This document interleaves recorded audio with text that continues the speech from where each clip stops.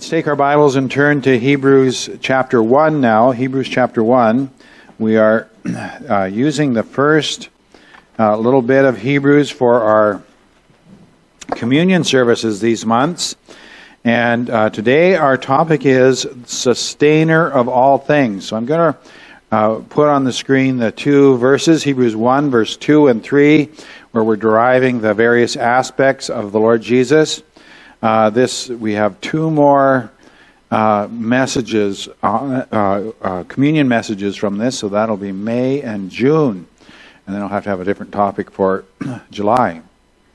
Hebrews chapter one, verses two and three. In these last days, God has spoken to us in His Son, whom He appointed heir of all things, through whom also He made the world. And He is the radiance of His glory and the exact representation of his nature and upholds all things by the word of his power. That's our phrase for this week. When he had made purification of sins, he sat down at the right hand of the majesty on high. So the phrase is upholds all things by the word of his power. Now, to start off, I want you to notice that the first phrases of the description describe the Son's nature, who he is. He's the heir of all things. He is the creator through whom also he made the world. He is the radiance of God's glory. He is the exact representation of God's nature. All right? Now, he upholds all things. This comment speaks to our, our Lord's relation to all things, to what he does. And in fact, when it says all things, that means to every atom of the universe. He upholds all things by the word of his power. But even more than that, it speaks not only of atoms and the physical world, but it speaks of the spiritual world as well. This is one thing, one truth that is in Scripture. We find little hints of it here and there that speak about his role of sustainer of all things. And I do think it is uh, something that we do need to call to mind, that we need to think about. So, the proposition for this afternoon all things exist by His Word. So, the first thing we'll talk about is the scope of His power, all things. What is included in all things? Well, John 1 3 says, All things came into being through Him. And apart from Him, nothing came into being that has come into being. So, that obviously means the physical universe. If you go back to Genesis 1, it begins in the beginning, God created the heaven and the earth. And we, we read there that the very first thing God made is the heavens and the earth. In verse 3 of Genesis chapter 1, God says, Let there be light. God created the light. In chapter, or verse 6, uh, the King James uses the word firmament. I, th- I basically take that to be uh, creating an atmosphere around the earth. That's my understanding of that. Maybe somebody else will have a better understanding. Verse 9 and verse 11. He separates the waters from the waters, the, the dry land appears, the plant and plants of all kinds. There's life and and uh, growth and everything comes onto those plants, all things. He made all those things. Verse 14 of Genesis chapter 1 God made the sun and the moon and the stars. He made all those things. Uh, verse 20 all the living creatures of the sea. So the fish and the uh, whales and the you know the plankton and the little tiny single-celled organisms and the uh, all things, everything that is in the sea, he made all the living things on the earth in verse 24 of Genesis chapter 1. So lions and tigers and spiders and somebody t- has put up in Vancouver, they put up a giant spider underneath a bridge. Have anybody seen a picture of this? And yes, and it is creepy, but God made the spiders. Just think about that for those of you who get freaked out by them. All right, I don't particularly like them and I step on them, but God made them. All right, the Lord made them all the living things on the earth and man. Genesis 1:26. God made man, male and female uh, made he them. Well, not only the physical universe did God make. This is something that is little mentioned, but here's a couple of verses that speak about something else. Colossians 1:16 For by him all things were created, both in the heavens and on the earth, visible physical things and invisible spiritual things, whether thrones or dominions or rulers or authorities. All things have been created through him and for him. So when we see that phrase, when it says thrones or dominions or rulers or authorities, we usually take that to mean the ranking of, of authority amongst the angels. So the power is amongst the angels, for by him all things were created. So even the angels. So another verse, Psalm 40, uh, 148, verse 2 Praise him, all his angels. Praise him, all his hosts. Let them praise the name of the Lord, for he commanded and they were created. So, again, the scriptures say the angels were created by the Lord. And then Genesis 2 1. This one is a little uncertain. Thus the heavens and the earth were completed, and all their hosts. Does the, the word hosts include the angels in Genesis 2 1? Well, I am, my bias is yes, it probably does. The question is, does it include the angels? Well, it doesn't explicitly say, so there's a bit of debate about it. But certainly, Colossians 1.16, Colossians 1.48 2 say that God created all things, including the spiritual things. So that means all the angels. So we think of Gabriel and Michael and all of the other angels that are mentioned, not by name, but are mentioned in the Bible. So we think of those good servants of God, the angels. But also all the fallen angels, all the demons. They were created by God. They rebelled, they turned away from God, but they were created by God. And that means Satan himself is a creature made by God. All things means all things. Right? The scope of his power. He uh, made all things, but not only that, in our text it says, he upholds all things by the word of his power. So that moves us on to the work of his power. The scope of his power, all things. The work of his power, upholding. So what is upholding? The basic meaning of this word is to carry.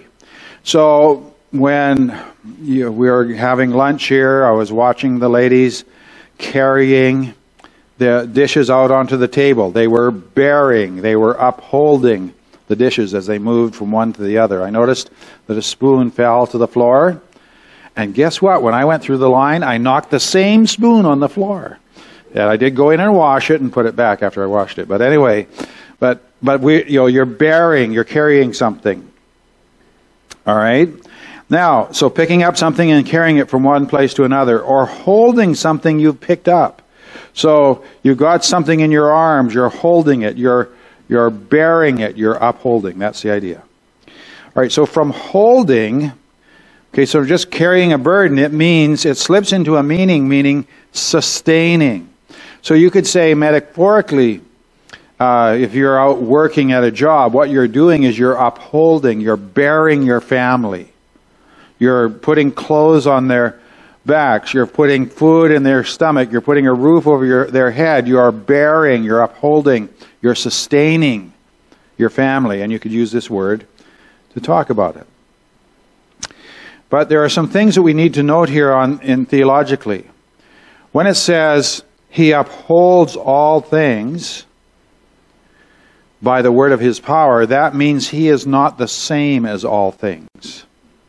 Okay, so the Bible never teaches anything remotely close to what is called pantheism, where God is equal to creation. Um, so he is outside creation. Uh, secondly, it means that God is active in moving creation towards its goal, uh, it's towards its destiny. Uh, he, if he's upholding all things, he is carrying it somewhere. And then thirdly, it means that the operations of natural laws are under his supervision. supervision. Nothing happens without the Son's permission. Okay, so the, the Son of God, uh, uh, you know, we just there were just some tornadoes down in the southeast, uh, damage in various places. I don't know if anybody lost their lives on these. Sometimes they do. But all of those things operate under the supervision and the power of Almighty God. That's what our phrase is saying. But back to the all things. All these things that we've listed uh, in point one the sun, the moon, the stars, the animals, the sea creatures, and man, and even the rocks and the trees, and all the spirits, and all, even Satan and his hosts, are upheld by him. But how? How are they held? Well, here's what the text says the operation of his power by his word. By his word. It says, He upholds all things by the word of his power.